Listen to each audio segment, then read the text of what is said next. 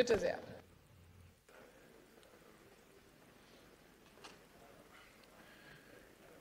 Frau Präsidentin, meine sehr geehrten Damen und Herren! Lassen Sie mich zu Beginn meiner Rede gleich eines klarstellen.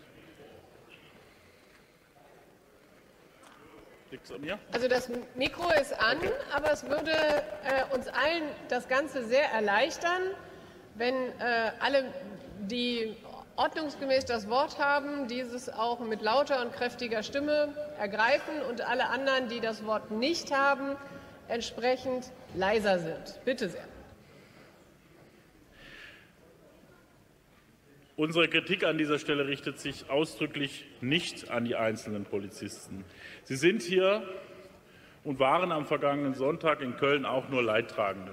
Sie leiden, wie wir, unter dem Versagen unserer, ihrer Führung oder eben unter einer politisch gewollten Sabotage des AfD-Wahlkampfs in Nordrhein-Westfalen. Sie leiden unter dem Kölner Polizeipräsidenten und sie leiden unter Innenminister Reul.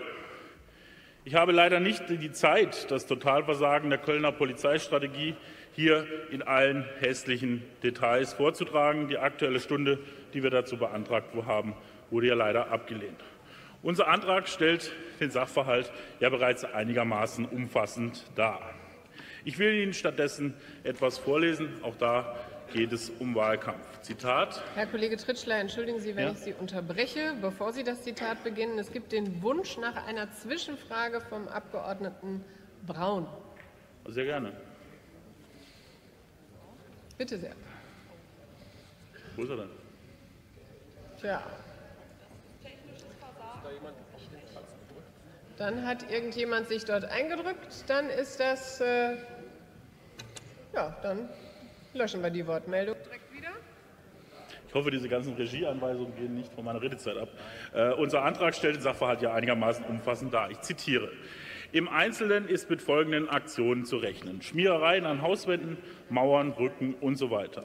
Versuche, die Veranstaltung ausfallen zu lassen durch Verhinderung des Zugangs zu Veranstaltungsräumen, durch Blockieren der Zufahrtswege und Saaleingänge, tätliche Angriffe auf Veranstaltungsbesucher, Verhindern, Behindern, Belästigen, Beschimpfen, Beleidigen und Provozieren der Veranstaltungsbesucher, Umfunktionieren und Übernehmen der Veranstaltung für eigene Zwecke oder Abbruch erzwingen durch gewaltsames Eindringen in den Versammlungsraum, Besetzen taktisch entscheidender Positionen im Versammlungsraum, Sprechchöre, Gesang, rhythmisches Klatschen, lautes Gelächter, provozierende Zwischenrufe, Lärmen unter Verwendung von Lärminstrumenten, das Werfen von Konfetti, Papierschlangen und anderen karnevalistischen Scherzartikeln, ständiges Hin- und Herlaufen während des Vortrags.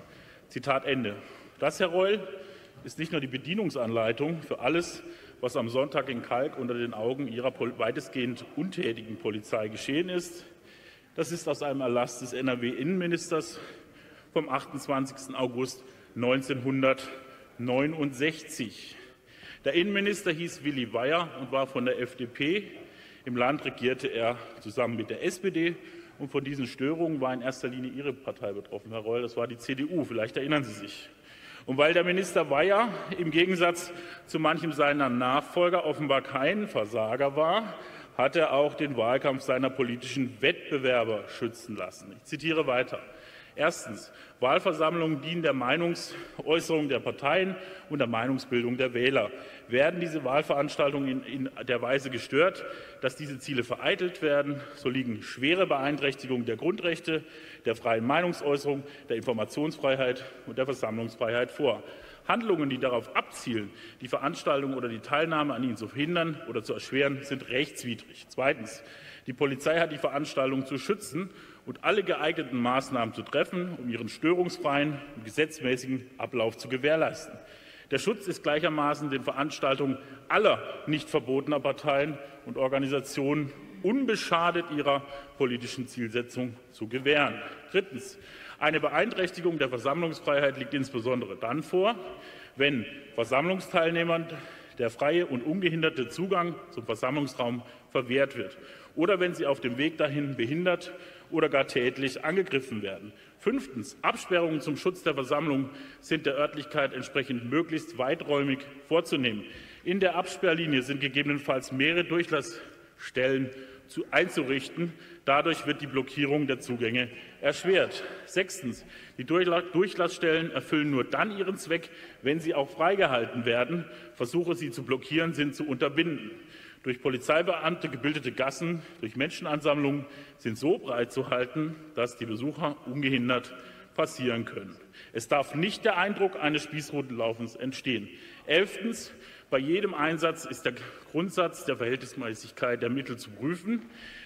Die Beachtung des Grundsatzes rechtfertigt jedoch nicht, dass die Polizei bei groben Rechtsverletzungen und empfindlichen Störungen der öffentlichen Sicherheit und Ordnung untätig bleibt. Zitat Ende. Herr Minister Reul, nichts davon, aber auch gar nichts hat die Kölner Polizei unter ihrer Verantwortung sichergestellt. Gar nichts. Unter ihrer Verantwortung fallen wir offenbar nicht nur unter die, hinter die Zustände von 1969 zurück, sondern gleich in die 20er und 30er Jahre. Sie sollten sich schämen. Und da leider meine Redezeit zu Ende ist, ich hätte noch einiges dazu zu sagen, lasse ich Ihnen der Erlass da. Da können Sie mal schauen, wie das Demokraten machen.